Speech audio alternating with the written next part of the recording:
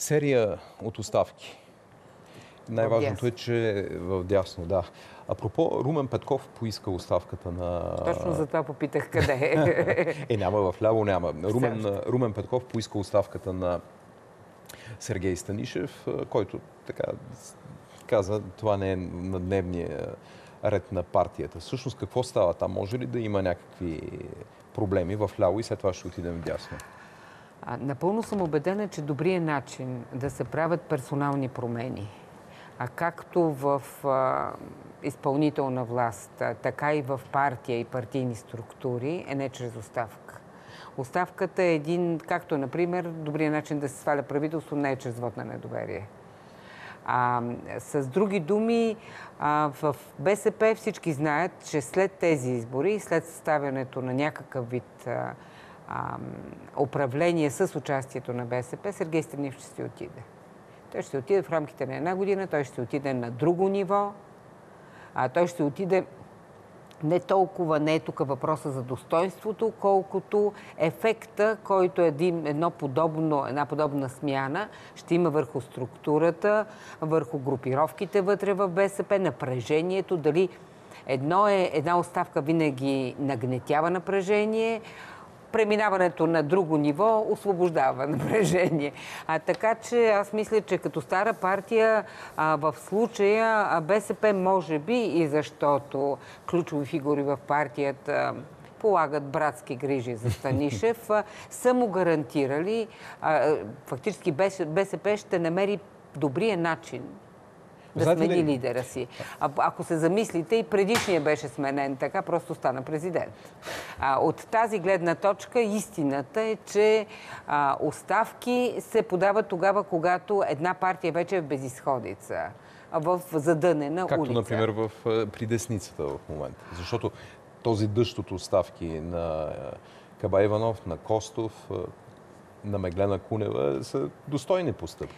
Ами да кажем така, оставката на Каба Иванов е поредната оставка. Аз не, не, бях, не бих я отличила от всички останали. А, дори мисля, че там ако ги степенуваме, коя е по-позорна, коя е най-позорна, може би и тя не е най-позорната. Имаме, може би, малко по-позорни от него. Нека да гледаме глобално на десницата. Така, десницата вече не съществува. каза, че ще бъде готова, ако отново я номинират, отново да стане... Mm-hmm. Така Който че е почти там сигурен, оставката, да. да, там оставката е, драматична, е драматургична, а не драматична. А що се отнася, разбрах, че обаче и на РЗС Яне Янев е подал, което не е много ясно дали е потвърдена информация. Не, Там вече ми е, е интересно е а как ще се развият нещата. Докато при Костов е ясно какъв е смисъла на оставката.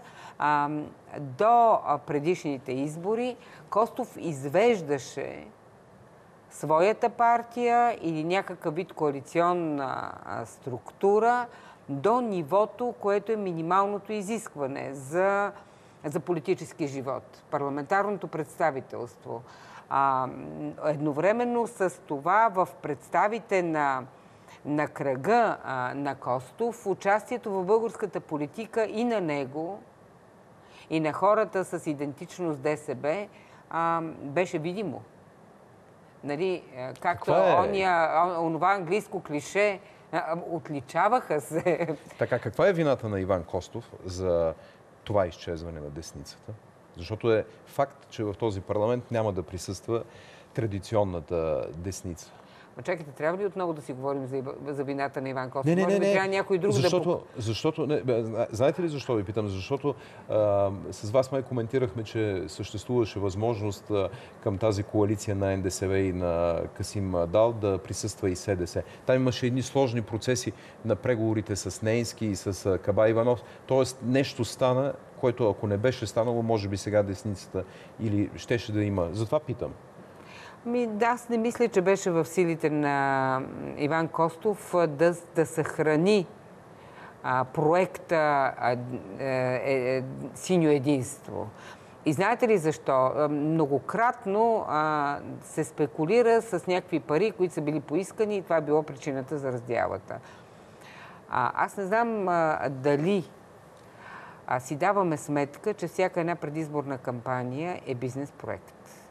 Не знам дали си даваме сметка, че синята коалиция беше бизнес проект разходите по, по който бяха изцяло платени от Костов, в резултат на което той получи пет депутатски мандата. Като казвате платени, какъв платени, смисъл? буквалния смисъл. Как, по това как? време с пари, с средствата на, на ДСБ.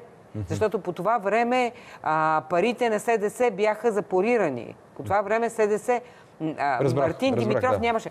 Значи, вижте, и отново какво се получава. Аз съм напълно убедена, че по същия начин отново синьо единство идват и казват, ние сме тука, ние искаме равен брой мандати. Разбрах. Много Това моля, е в- плати масрафа. Двоен масраф, една трета от мандатите. Аз не виждам защо, по-скоро си мисля, че той в един момент си е казал, защо да го правя, ако като влезат обратно, ако влезат в парламента тези хора с тази нагласа, тяхното отношение към мен ще бъде отново Костов ни е виновен. Какво става с десницата от тук нататък? Рестарт. Ами а, да, надявам се да не се говори за нова дясна формация, а защото а, много пъти вече го повтарям, но новите десни партии навсякъде по света са радикални партии. Те са а, партии с, а, и с харизматични лидери, но те са партии на нетрадиционни фигури, на екстравагантни фигури. А, от тази гледна точка ново дясно Ново дясно може би беше, може би е Волен Сидеров, ново дясно може би беше Жор, Жорж Ганчев. А обаче, както виждате, дори Меглена Кунева не успя да стане ново дясно, защото няма как да, да стане. Паритет на, паритет на, на двете групи, е, възможно, които имат възможност да съставят е, правителство в следващия парламент, се очертава днес. 97 ГЕРБ, ДПС 33, Атака 23, Коалиция за България 87. Вашата прогноза, какво става от тук нататък? Както каза Марин Райков, никой от е, тези, никой от тези партии не е как беше думата, девствен като Морално, морално девствен, да. да. А, ами, а, аз мисля, че доста прибързано гледаме на ситуацията в парламента с онези стандартните, нормалните а, така, понятия. Ние а, си представяме, че имаме четири парламентарни формации и договарянето ще върви и виждаме тези числа, А как ще върви? които а, са, са в мандати. Ами бих казала, че първи основен проблем, ако не за всички, то поне за две от парламентарно представените партии, а, е За кои говорите? тяхната ГЕРБ и Атака, е тяхната цялост. Големият въпрос е, дори въпросът не е дали, а кога те ще започнат да се разпадат. Това не стана а, при В ГЕРБ пред- в предишния Точно парламент. Така. Не стана в предишния парламент. А, сега не стана с ГЕРБ в предишния парламент, защото беше платено с разпада на две формации. Атака и защото РЗС. беше РЗС. РЗС беше партията, която, партията Донор или партийната група Донор, която осигури онези, там вече не знам как да ги наричам, Яневи мравки, които нали, сглобиха мнозинството Какво ми казвате? Че е възможно това да стане при ГЕРБ? Възможно и, е и, и при- така да се състави правителство, защото аз това ви питам. Възможно е, защото и в Не, българския извинявайте, опит... защото трябва много бързо. Да. Нали, това, това, Възможно този е, разпад ставаше за защото- години. Да, точно така. Но българският, в българския опит вече има готови формули. Вече имате правителство, имате модела Беров, където е пределно ясно, че там има една основна а, група, която управлява. Тя е коалицията между ДПС и БСП и съответно има още няколко малки формации, които са за не за цвят, а по-скоро за маскиране. И какво очаквате тука- вие да стане? Ами, БСП а, с, ясно е, а, че БСП и ДПС. ДПС имат едно твърдо мнозинство. Ясно е, че, това, че на тях не има удобно а, да се форматират а, публично като Но то, двойна то е невъзможно да не, да не, да не и стане също публично. така е ясно, а, че, ами не, ако а, върви, Какво ето, а, значи, ако се търси някаква формула, пак експертно правителство. Или национално спасение, или Освен така. това, а, вижте, а, самото структуриране и на ГЕРБ е свързано с едни групи депутати, които имат по-скоро ло- лобистка близост, отколкото партийна близост.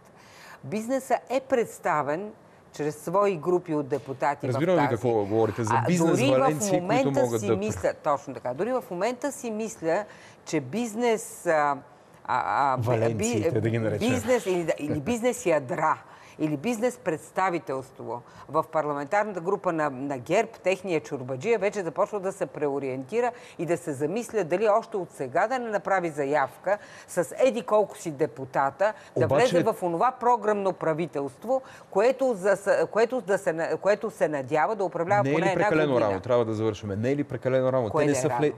Още ги няма в парламента, не са се заклели. И вие говорите, че те биха малко. могли да влязат. Технологично коалициите се договарят преди да се конституира парламента. Технологично коалициите се проверяват с един много прост вод. Избиране на председател на парламента и избиране на членове на комисии. Там след което ясно. там се проверяват и след което вече влизат в действие Ясно. при номинирането на министър-председател и формиране. Това е навсякъде по света. Следете, казва Румяна Коларова, какъв ще бъде избора за председател и шефове на комисиите. Много Тогава вече, е, де се казва, манджата ще бъде сготвена. Добре. Румяна Коларова, политолог, преподавател в Софийския университет Климент Охридски.